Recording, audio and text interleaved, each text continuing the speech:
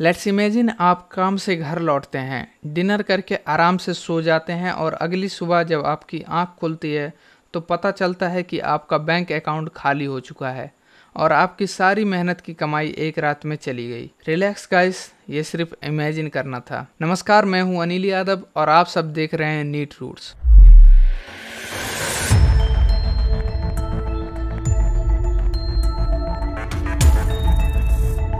वैसे ये real life incident है जो हर दिन बहुत सारे लोगों के साथ होता है। साइबर क्रिमिनल्स बहुत ही शांत रूप से लोगों के पर्सनल इंफॉर्मेशन और डिजिटल प्रॉपर्टीज़ को चुराने के तरीके ढूंढ रहे हैं। वो फिशिंग मालवेयर और सोशल इंजीनियरिंग जैसे डिफरेंट तरीकों का उपयोग करते हैं। सो so गाइज़ अब तक तो आपको पता चल ही गया होगा, आज हम किस टॉपिक पर बात करने वाले हैं। हाँ आपने सही सोचा, आज हम हैकर्स के बारे में बात करने वाले हैं। हैकर्स शब्द सुनते ही आपके दिमाग में ब्लैक मास्क पहना हुआ हुडी का टोपी लगाया हुआ डार्क रूम में कंप्यूटर के सामने कुछ करते हुए इंसान का इमेज आता होगा। तो अब जानते हैं असल में हैकिंग एंड हैकर्स क्या हैं। हैकिंग एक टेक्निक है जिसमें कंप्यूटर सिस्टम या प्राइवेट नेटवर्क तक बिना परमिशन के पहुँचने की प्रयास किया जाता है। हैकिंग को और अच्छे से जानने के लिए हमें हैकर को समझना ज़रूरी है। हैकर वो लोग हैं जो कंप्यूटर सिस्टम के कमजोरियों का पता लगाते हैं और उनका फ़ायदा उठाते हैं। वैसे हैकर अच्छे भी होते हैं और बुरे भी होते हैं।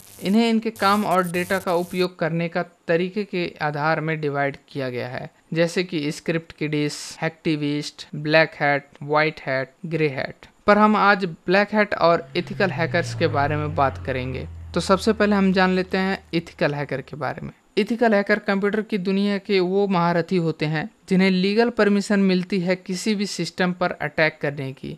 या फिर किसी भी सिस्टम पर लीगली पेंट्रेशन करने की। और इनका सिर्फ़ एक ही मिशन और विजन होता है, किसी भी लू फोल्स और बग को आइडेंटिफाई करके उस सिस्टम और नेटवर्क को सिक्योर करना। और अब जान लेते हैं ब्लैक हेट हैकर्स के बारे में। Black hat hackers digital area के कुछ ऐसे कंप्यूटर एक्सपर्ट होते हैं, जिनके पास किसी भी सिस्टम को पेनिट्रेट करके उस सिस्टम में एक्सेस पाने की कला होती है, या फिर किसी भी सिस्टम पर इलीगल और विदाउट परमिशन अटैक करके एक्सप्लॉयट करने को ब्लैक हैट हैकिंग बोलते हैं। और इनका काम साइबर क्राइम और साइबर अटैक करने का होता है। और इनका एक ही मिशन और विजन होता है, किसी भी कंप्यूटर नेटवर्क्स पर अटैक करके उनके सेंसिटिव इंफॉर्मेशन को लीक करना या फिर उसका गलत इस्तेमाल करके दूसरों को परेशान या बर्बाद करना।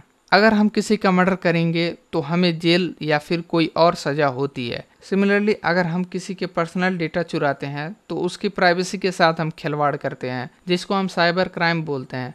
और इनके लिए भी सभी कंट्रीज़ में लॉस और पनिशमेंट्स होती हैं। अब हम साइबर लॉस और पनिशमेंट्स के बारे में बात कर लेते हैं। जैसे कि अगर आपने किसी का पासवर्ड हैक कर लिया तो आपको तीन साल तक का जेल और एक लाख तक का फाइन हो सकता है।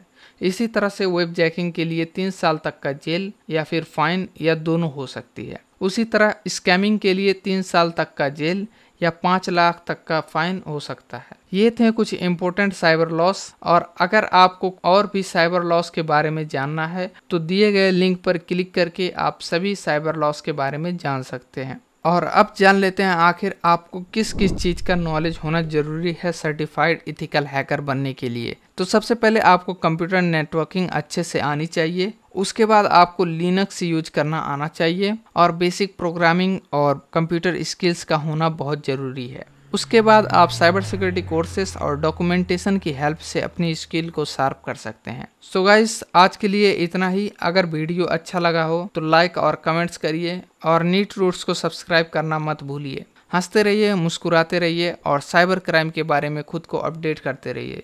Stay safe stay secure thank you